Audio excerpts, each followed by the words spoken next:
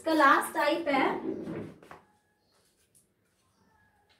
Translocation नाम से ही पता चल रहा है ट्रांसलोकेशन मतलब मूवमेंट नेचुरली भी हो सकता है, किसकी वजह से? ट्रांसपोजोन्स आपने पढ़ा है transposons are what they are the jumping genes that will move from one place to another place दो तरीके से वो जंप करते हैं कट पेस्ट एक जगह से जीन कट किया और दूसरी जगह लगा दिया.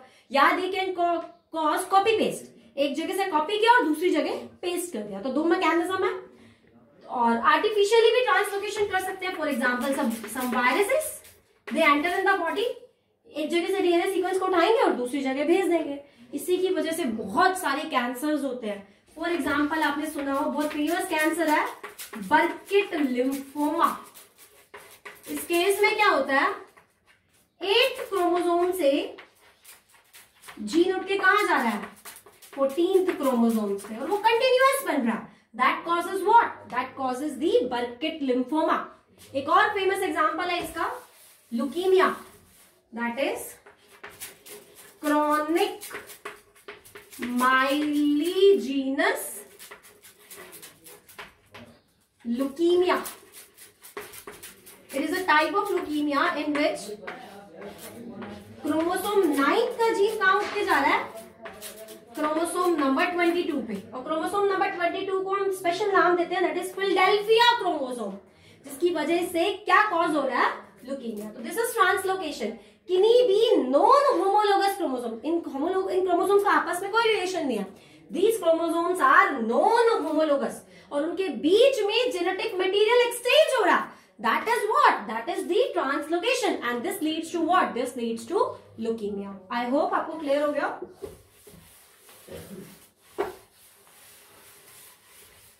अब हमने ये तो पढ़ा कि म्यूटेशन किस किस टाइप्स की होती है और क्या क्या है। अब कौन कौन से एजेंट्स ये म्यूटेशन कर सकते हैं? मैंने आपको सबसे पहले लेक्चर के स्टार्टिंग में बताया नेचुरल लाइक टोटोमालिज्म आर्टिफिशियल में क्या हो सकते हैं? बायोलॉजिकल एजेंट हो सकते हैं फ़िज़िकल एजेंट हो सकते हैं केमिकल एजेंट हो सकते हैं। केमिकल्स में हमने पढ़े डीएमिनेटिंग एजेंट्स डीएमिनेटिंग एजेंट्स में नाइट्रस एसिड अल्काइलेटिंग एजेंट्स हो सकते हैं, जैसे ethyl methane sulphonate methyl methane sulphonate right और मैंने फ्रेंडशिप में आपको बहुत सारे केमिकल्स के नाम बताए हैं प्रोफ्लेवन acridine, orange etbr these all are the chemicals which do the mutation, right? Physical में हो सकती है हमारी रेडिएशंस दो तरह की रेडिएशन होती है आपको पता है one is ionising and one is non ionising ionising के एग्जांपल्स है एक्स रेज गामा रेज जैसे मैंने अभी आपको बताया था एम एस स्वामीनाथन ने गामा रेज का यूज़ करके सेमी ड्वार्फ वेराइटीज बनाई थी वीट की. तो that is what that is mutation कि uh, ऐसा चेंज आया और वीट कैसी बनी? That is good that is high fibre content right okay अच्छा उसके अलावा नॉन आयोनाइजिंग रेडिएशन में यूवी रेस यूवी रेस क्या करती हैं?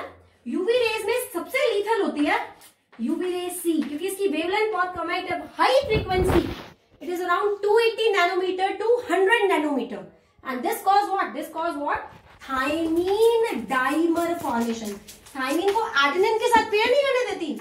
थाइमिन को किसके साथ पेयर कराएगी? थाइमिन के साथ. तो ओवरऑल डीएनए का स्ट्रक्चर क्या हो जाएगा? Distort this is called thymine dimer formation right अच्छा व्हाट विल हैपन इसके अलावा बायोलॉजिकल एजेंट्स में क्या हो सकते हैं? Viruses bacteria they all lead to what they lead to what mutation तो these are the agents which can cause mutation अब जब तक म्यूटेशन नहीं हुई थी, हम फिनोटाइप को क्या बोलते हैं? वाइल्ड टाइप फिनोटाइप क्या बोलते हैं बेटा? वाइल्ड टाइप फिनोटाइप जैसे ही कोई म्यूटेशन हुई तो हम उसको बोलेंगे ऑल्टर्ड फिनोटाइप या आप बोल सकते हो उसको म्यूटेंट क्या बोल सकते हो बेटा? म्यूटेंट या तो आप बोलोगे वाइल्ड टाइप फिनोटाइप या आप उसको क्या बोल सकते हो? Mutant right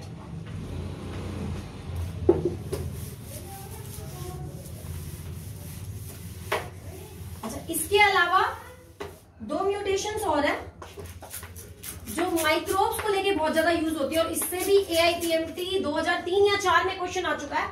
Prototroph and auxotroph prototroph and A I P M पहले के टी में से क्वेश्चन पूछ चुके हैं। प्रोटोट्रॉप एंड ऑक्सोट्रॉप प्रोटोट्रॉप वो माइक्रोब्स है या उन ऑर्गेनिजम्स को बोलेंगे जो एक मिनिमल मीडिया में ग्रो कर सकते हैं। ठीक है? जिनको बाहर से कुछ नहीं चाहिए।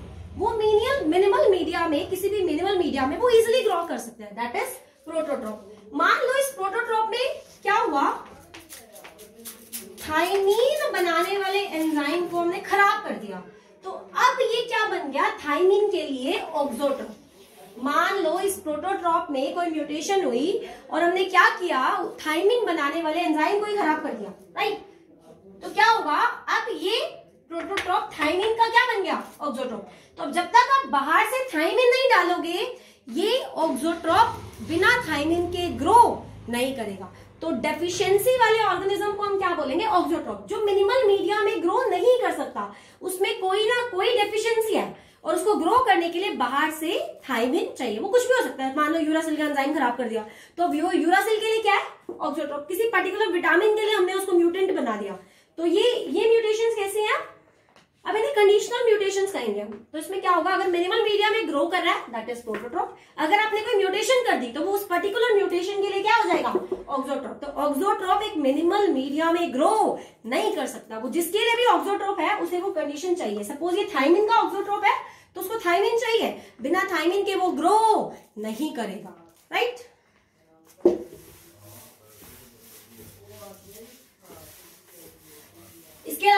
अलावा कंडीशनल म्यूटेशन में और भी है। एक लो टेम्परेचर पे वो वाइल्ड टाइप की तरह काम कर रहा है। और अगर आप टेम्परेचर बढ़ा दोगे तो वो क्या बन जाएगा? म्यूटेंट तो कंडीशंस के हिसाब से वो अपने फिनोटाइप को चेंज कर रहा है। नॉर्मल टेम्परेचर में तो परमिसिव है, लेकिन आप टेम्परेचर बढ़ाओगे तो वो क्या शो करेगा? म्यूटेंट फिनोटाइप राइट इसके अलावा दो म्यूटेशन और होती हैं। Loss of function mutation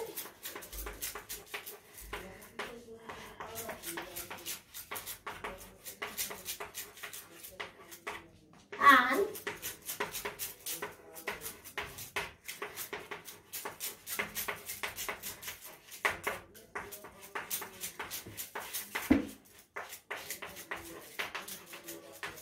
of function mutation नाम से ही पता चल रहा है loss of function mutation mutation की वजह से लॉस हो गया।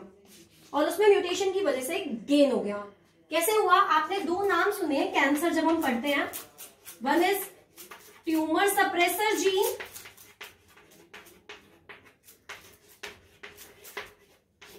and one is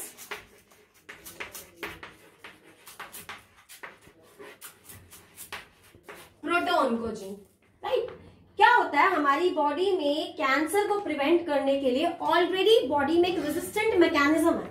That is tumour suppressor gene इसका फ़ेमस एग्जांपल है P53. ये हमारी बॉडी में अगर कोई भी एरर होता है तो ये एक्टिवेट हो जाता है और ये उस एरर को क्या करेगा, उस पर्टिकुलर सेल को बोलेगा आप प्रोग्राम सेल डेथ के लिए चले जाओ। आप तो खराब हो गए हो। अब आगे आप डिवीज़न के लिए नहीं जा सकते। तो अगर मान लो इस P53 में ही म्यूटेशन हो जाए और इसके लेवल को हम कम कर दें तो बॉडी में सेल बॉडी में कैंसर से कौन बचाएगा? कोई नहीं बचाएगा। That is what that is the loss of function mutation change in the tumour suppressor gene जो ट्यूमर सप्रेसर जीन की एक्टिविटी को कम कर रहा है जिसकी वजह से क्या हो रहा है? हमारी बॉडी को लॉस हो रहा है। तो this is the example of loss of function mutation और ये हमेशा क्या होती है? रिसेसिव इसका मतलब इस जीन के दोनों अलील खराब होंगे, तभी ये म्यूटेशन कॉज करेगा। उसी को तो हम रिसेसिव म्यूटेशन कहेंगे। जब तक दोनों अलील खराब नहीं होंगे, वो म्यूटेशन कॉज नहीं करेगा। राइट प्रोटोन जीन्स में क्या होता है? प्रोटो प्रोटोन जीन्स हमारी बॉडी में नॉर्मली सेल डिवीज़न में पार्टिसिपेट करते हैं। राइट और मान लो अगर ये एक्टिवेट हो जाए दे विल बिकम ऑनकोजीन तो सेल डिवीज़न में बनना तो चाहिए था वो प्रोटीन इतना सा, जो नॉर्मली सेल डिवीज़न में पार्टिसिपेट कर रहा था। एक्टिवेट होने से बन रहा है इतना। तो जरा से सेल की बजाय बजाय वो कंटिन्यूस डिवाइड कर रहा है। That cause what that cause the tumour तो ट्यूमर सप्रेसर जीन का तो क्या हो रहा है? लॉस लेकिन अगर प्रोटो जीन एक्टिवेट हो गए तो ये एक सेल डिवीज़न में बनने, बनना तो चाहिए था जरा सा बट ये इतना बनाएँगे। That is what that is the gain of function mutation एक ऐसी म्यूटेशन हुई जो इनको एक्टिवेट कर लिया और इनको किसमें चेंज कर दिया? ऑनकोजीन में। तो लगातार सेल डिवाइड करते रहेंगे और उनकी वजह से क्या हो जाएँगे? कैंसर ये म्यूटेशन क्या होती है? डोमिनेंट डोमिनेंट का मतलब अगर इन सेल डिवीज़न वाले जीन में अगर एक भी अलील खराब हो गया तो वो क्या होगा? म्यूटेशन कॉज करेगा।